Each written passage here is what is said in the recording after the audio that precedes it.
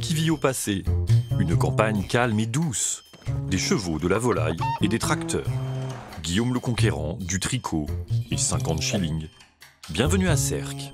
Et ici, c'est vraiment la géosarbie.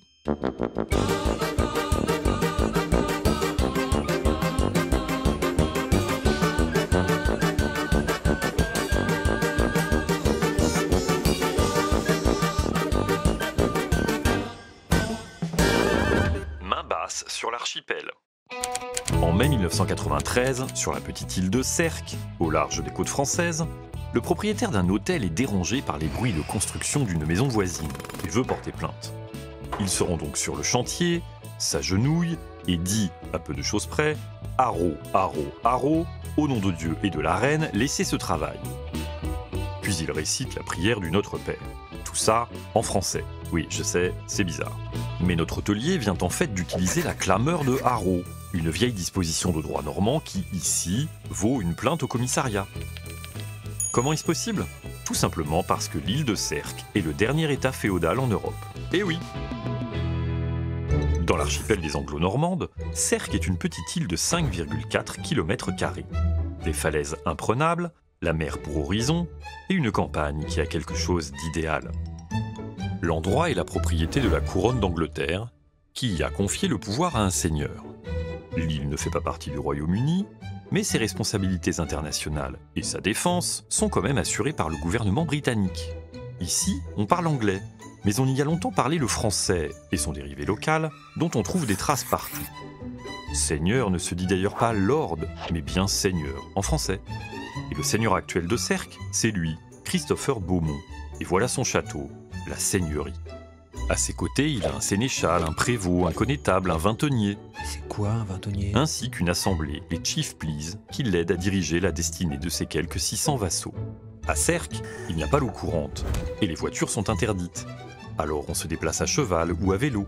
Heureusement, il y a quand même l'électricité, et les tracteurs sont tolérés. Bref, Cerques, c'est un mélange d'aujourd'hui et d'hier.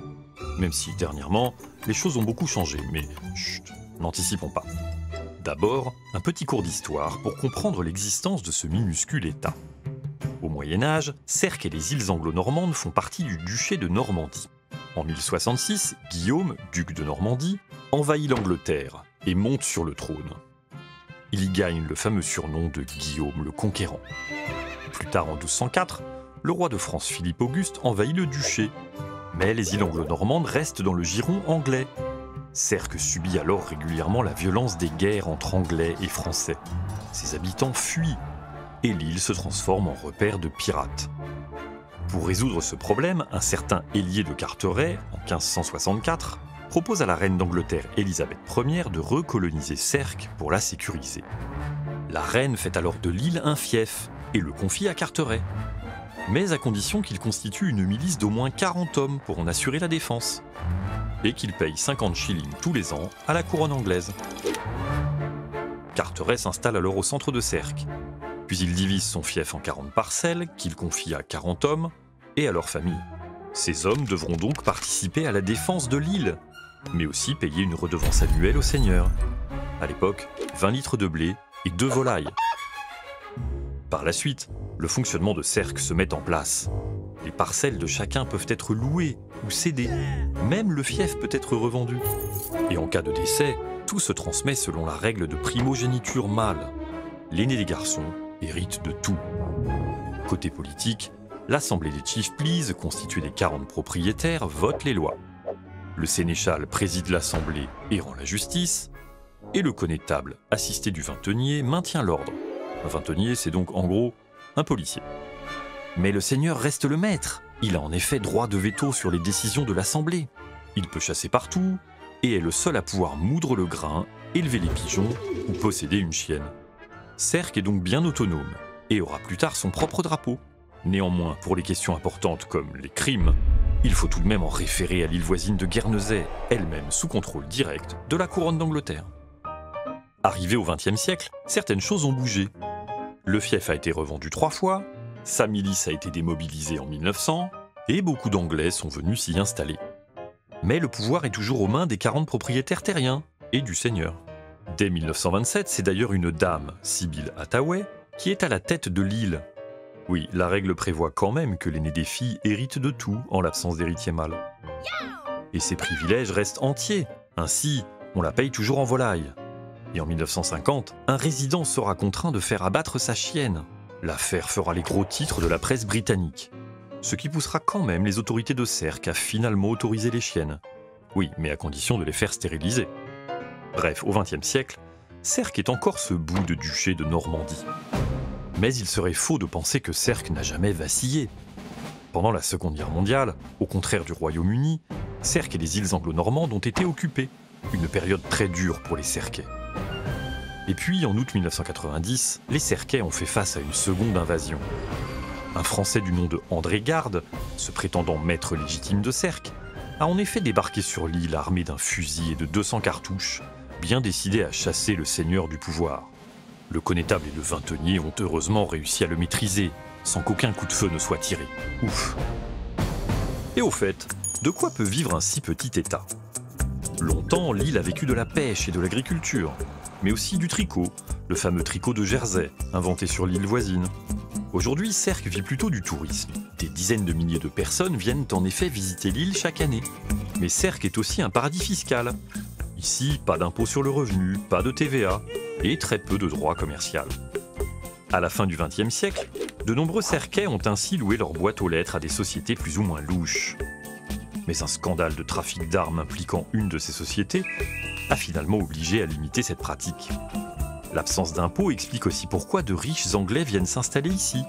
Un afflux bienvenu pour l'île qui lutte contre la diminution de sa population, mais un afflux qui a peut-être aussi déjà signé la fin de cercle la féodale. Pourquoi? Réponse David et Frédéric Barclay, qui sont deux jumeaux milliardaires possédant entre autres le journal Daily Telegraph ou l'hôtel Ritz de Londres. Leur devise Agir ou mourir.